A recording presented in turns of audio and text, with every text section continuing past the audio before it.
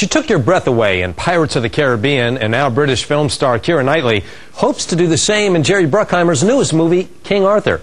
Juliana DePandy sat down with the 19-year-old Keira over the weekend to talk about men and abs. She's young, she's beautiful, and she plays a strong, fearless woman in King Arthur. Now, you kicked some butt, too, in this film. Seriously, yeah. Were you excited to hear you'd be doing that? I love doing action. I really, really, really loved it. And um, we did about three months training before the film started. Um, and for me, that meant a lot of weightlifting to kind of bulk me out a bit. Keira stars alongside Clive Owen, who plays King Arthur, and his bevy of handsome knights.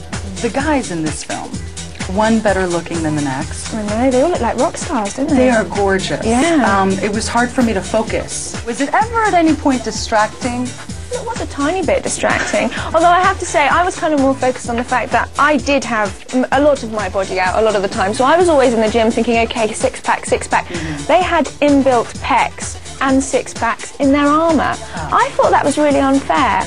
And speaking of amazing abs, I will never forget the footage of you at the Pirates of the Caribbean premiere with your stomach. I wanted to Ooh. wring your neck because you have the most amazing stomach. Tell me you do a thousand ab exercises a day and I'll be happy. I Just tell me that. I don't do any anymore. Um, at that point, I was actually in training for King Arthur. Oh, so, you were? You know, it was fine. So there you go. It's all right. But actually, because of that top at the premiere, um, Jerry went back to the costume designer for King Arthur and went, okay, um, she's got these abs. It's Jerry Bruckheimer, the producer, and I think we've really got to make a costume that, that shows the stomach. So, so we did the battle dress to show the stomach. Between your abs and your age and your face, I want to kill you. Oh, okay. okay. Thanks.